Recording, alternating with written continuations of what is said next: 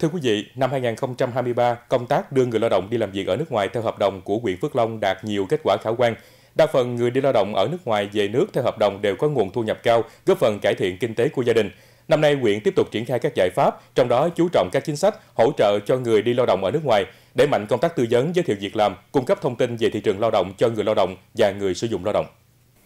Anh Trần Văn Trí, xã Vĩnh Thanh, huyện Phước Long có 5 người con, nhưng hiện đã có 4 người con gái đi lao động tại Nhật Bản. Trung bình một tháng, mỗi người con của anh Trí gửi về cho gia đình từ 20 đến 30 triệu đồng. Đây là số tiền sau khi các con anh đã trừ hết các khoản bảo hiểm, chi phí sinh hoạt. Anh Trí dự định sau khi con trai út của mình tốt nghiệp đại học ngành công nghệ ô tô sẽ tiếp tục cho đi làm việc tại Nhật Bản. Gia đình tôi được bốn đứa con gái. Nó đi uh, mặn chủ yếu là bên nước Nhật không. Lương uh, cơ bản của nó thì một tháng như là 30 triệu. Còn nếu mà tăng ca thêm nữa thì cỡ bốn chục. Đời sống thì thoải mái lắm không có gì hết. Công việc mằng cũng cũng cũng nhàn nữa. Mằng có giờ có giấc nhưng mà điều mằng theo cái sức của mình mình vừa sức chứ không có ai ép mình gán hoặc là này kia nọ ờ, thằng trai út của tôi thì hiện tại giờ nó đang học bên uh, uh, thư khí. Học ở ô tô đó. Thì tháng 7 tháng 8 này nó là nó ra trường rồi. Thì, thì tiếp tục là cho nó đi tiếp tục bệnh còn gia đình ông Lê Thành Của ở xã Vĩnh Thanh cũng đang có một người con trai và ba đứa cháu ngoại làm việc tại Nhật Bản. Ông Của cho biết, trước đây hai vợ chồng con trai lớn của ông cũng đi nước ngoài làm việc. Sau 3 năm làm việc tại Nhật, con ông đã tích lũy được số vốn kha khá, mua nhà và an cư tại thành phố Hồ Chí Minh.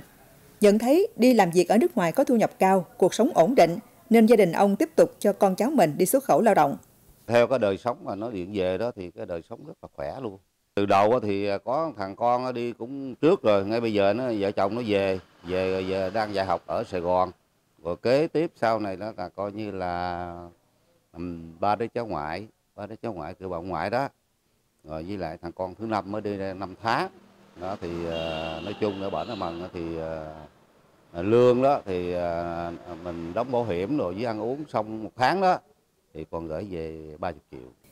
Hiệu quả của công tác đưa người lao động đi làm việc ở nước ngoài theo hợp đồng đã được chứng minh qua thực tế. Cuộc sống của nhiều gia đình có con em đi làm việc ở nước ngoài được cải thiện nhiều. Người lao động tham gia xuất khẩu lao động được giải quyết việc làm, đem lại nguồn thu nhập, chăm lo gia đình, góp phần vào công tác giảm nghèo bền vững ở địa phương. Năm 2023, Phước Long đã đưa hơn 40 người đi làm việc ở nước ngoài theo hợp đồng, đạt trên 100% kế hoạch.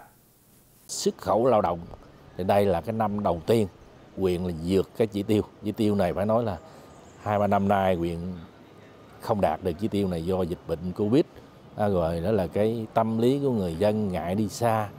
À, thì huyện đã quyết tâm dồn sức để mà tập trung chỉ đạo thì cái chỉ tiêu này đến cuối tháng 10 là huyện là đưa 42 trên chỉ tiêu 40 lao động đi làm việc ở nước ngoài. À, thì đây là một cái cái tín hiệu đáng mừng để cho huyện có cái cơ sở trong những năm tiếp theo là đưa lao động nhiều hơn ừ, vượt cái chỉ tiêu kế hoạch tỉnh giao để từng bước là, là ừ, lan tỏa cái việc xuất khẩu lao động đặc biệt là qua cái mối quan hệ thân nhân của các cái người đi lao động trước đó.